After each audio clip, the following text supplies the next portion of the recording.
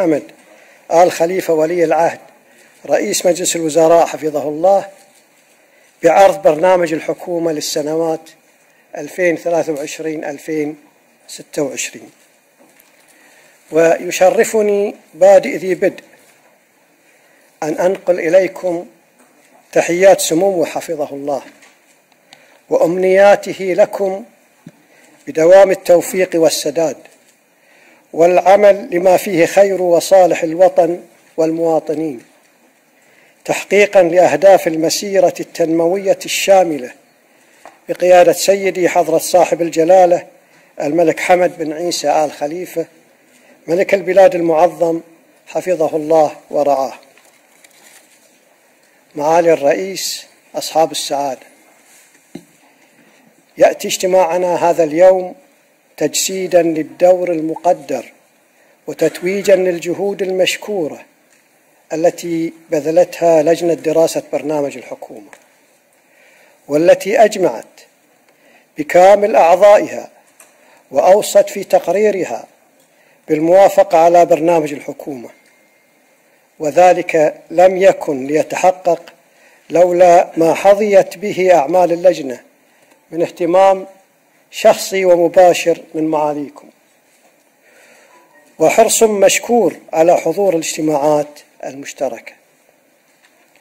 وكذلك المتابعة الدؤوبة والجادة والحثيثة من رئيس اللجنة سعاده السيد عبد النبي سلمان النائب الأول لرئيس مجلس النواب وجميع الأعضاء الذين نشهد لهم بالكفاءة في العمل بحرفية تامة ومهنية عالية.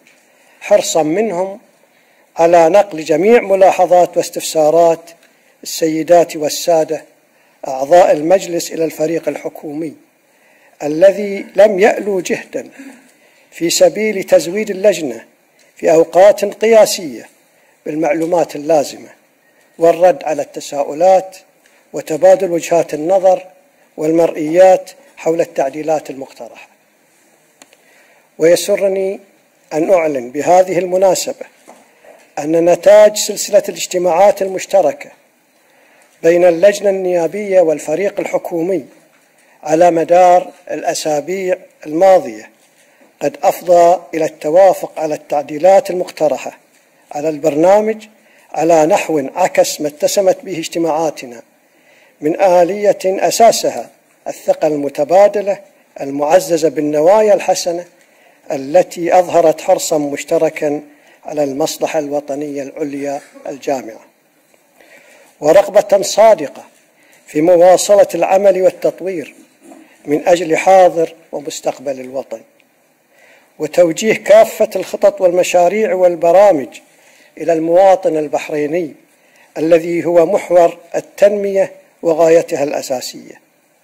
وذلك من خلق وذلك من خلال, من خلال خلق المزيد من الفرص النوعية وترسيخ الأمن المجتمعي الداعم للتنمية والازدهار وتطوير برامج الدعم المالي والاقتصادي لرفع كفاءة توجيهها لمستحقيها ودعم ومساعي التنمية الشاملة ومواصلة تحقيق أهداف التوازن المالي والشراكة مع القطاع الخاص وتطوير الأداء وجودة واستدامة الخدمات وغيرها من الأهداف العامة معالي الرئيس أصحاب السعادة لقد ساهم تلاقي الرؤى وتوحد الأهداف في التوصل إلى صياغات توافقية نوعية تعبر عن السياسات العامة والخطوط العريضة لرؤية الحكومة خلال الفصل التشريعي السادس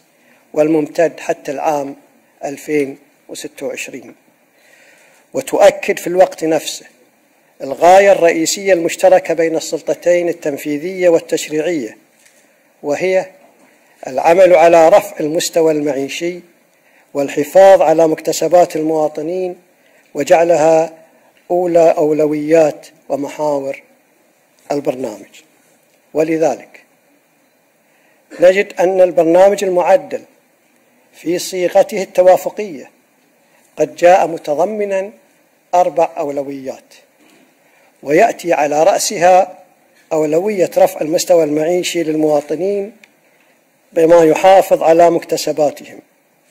إلى جانب أولويات العدالة والأمن والاستقرار والتعافي الاقتصادي والتنمية المستدامة والخدمة الحكومية ذات الجودة والتنافسية.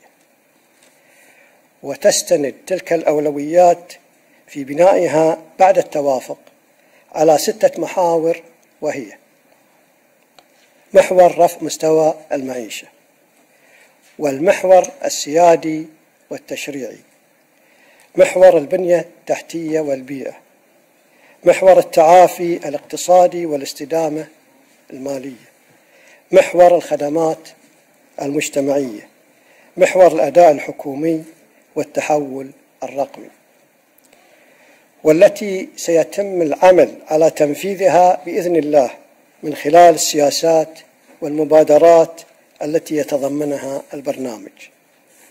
الحضور الكريم. إننا اليوم وإذ نقدر الجهود المبذولة في دراسة البرنامج لنتطلع عبر التشاور الدائم مع مجلسكم الموقر والتعاون المعهود منكم للانتقال من مرحلة التعافي إلى مرحلة النمو المستدام المنشودة خلال السنوات الأربع المقبلة وذلك لحصد ثمار الاستمرار في البناء والتنمية والتجديد وتحقيق المزيد من المنجزات والمكتسبات الوطنية الملبية لتطلعات وآمال المواطنين والله ولي التوفيق. والسلام عليكم ورحمة الله وبركاته.